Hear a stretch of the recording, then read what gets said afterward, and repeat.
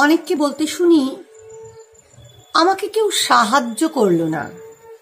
আমাকে কেউ সঙ্গ দিল না। রকম? না, এত দুঃখের দিনে আমার পাশে এসে কেউ দাঁড়াল না। বা আমাকে যখন প্রেমিকা ছেড়ে চলে গেল, তখন কোনো বন্ধু সেভাবে আমায় মানসিক শান্তি দিল না, আমায় সঙ্গ দিল না আমি বড্ড একা হয়ে গিয়েছি। লড়াই লড়তে লড়তে আমি ক্লান্ত হয়ে গিয়েছি। তাদের জন্য একটা প্রশ্ন। পৃথিবীতে যখন জন্মেছিলে, তারপর মায়ের কোল তোমায় উষ্ণতা দিয়েছে, কিন্তু মানিয়ে নিতে শিখেছিলে তুমি একাই। যখন অসুস্থ হয়েছ, মা তোমায় সেবা করেছেন, কিন্তু শারীরিক কষ্টটা তোমার একার। যখন হাঁটতে শিখেছ বাবা মা সাহায্য করেছেন। কিন্তু পড়ে গিয়ে দাঁড়াতে শিখেছ তুমি একাই। লড়াইটা একাই লড়তে হয়। আর লড়াইটা যদি ঠিকঠাক লড়তে পারো, তাহলে জিতটাও কিন্তু তোমার একার। যারা পড়াশুনো করো না এবং ভাবো যে বাবা মা পড়তে বলছে, কি বাজে সারা দিন পড়তে বলে। আমাকে অনেকে অভিযোগ করে, ম্যাডাম, আমার বাবা মার সঙ্গে ঠিক বনে না কেন জানেন? বাবা মা সারাদিন পড়তে বলে। প্রশ্নটা হচ্ছে যে ঠিকই বলেছ, বাবা মা ভালো নয় সারাদিন পড়তে বলে। কারণ রেজাল্ট ভালো হলে তো সেই রেজাল্টে তোমার বাবার বা মা, মায়ের নাম থাকবে। তাই নয় কি? ও, তা নয়? তোমার নাম থাকবে? তাহলে বাবা মা তোমায় পড়তে বলছেন তাদের জন্য নয়, তোমার জন্য।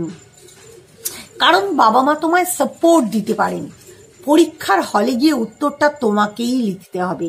চাকরির পরীক্ষা ইন্টারভিউ বোর্ডের সামনে তোমাকেই বসতে হবে। বা তোমার চাকরিতে তুমি প্রমোশন পাবে কি না, সেটা তোমাকেই তোমার যোগ্যতা প্রমাণ করে প্রমোশনটা ছিনিয়ে নিয়ে আসতে হবে। বা সুখের বা দুঃখের মুহূর্তেও নিজের মানসিক অবস্থাকে তোমাকেই সামলাতে হবে। তুমি বলবে যে সহানুভূতি। আচ্ছা সত্যি বলো তো, তুমি যদি সত্যি খুব দুঃখে থাকো, খুব ডিপ্রেশনে থাকো, তাহলে পরে কি বাইরের কথাগুলো তোমায় সত্যিই আনন্দ দেয়? বা তুমি খুব আনন্দে আছো, তখন কারোর দুঃখে কি সত্যি ততটা দুঃখিত তুমি হও? সত্যি করে যদি বলো, বলবে না। আসলে আমাদের মানসিক অবস্থাগুলো পারিপার্শ্বিক কিছুটা বদলাতে পারে, পুরোটা নয়। সমগ্র ক্ষেত্রেই লড়াইটা একাই লড়তে হয়। তাই ওই বাজে অজুহাতগুলো ছাড়ো যে এ দিল না, ও দিল না, ও সাহায্য করল না, পারিপার্শ্বিক এমন ছিল না। লড়াইটা তোমার একার কারণ কনসিকুয়েন্সেস ফলটাও তো তোমার একারই।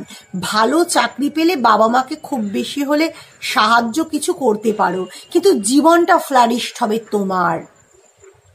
ভুলভাল ডিসিশন নিয়ে ভুলভাল ছেলেকে বা মেয়েকে জীবনসঙ্গী বেছে নিলে সাফারটা তোমাকেই করতে হবে। বাবা মা সাময়িক কষ্ট ভোগ করবে, তারপর চলে গেলে জীবন যুদ্ধে তুমি একা। তাই লড়াইটা নিজেই লড়তে শেখো। ঠিকঠাক ডিসিশনগুলো নিজের ওপর ভরসা করে নিজেই নিতে শেখো। দেখবে, সাফল্য আর অধরা নয়। তাই আজ থেকে লড়াইয়ের দায়, হার জিতের দায় নিজের কাঁধে তুলে নাও। দেখবে, জীবন যুদ্ধে তুমি বিজয়ী সম্মানটাই পেয়েছ। একজন লুজারের নয়। ভালো থেকো।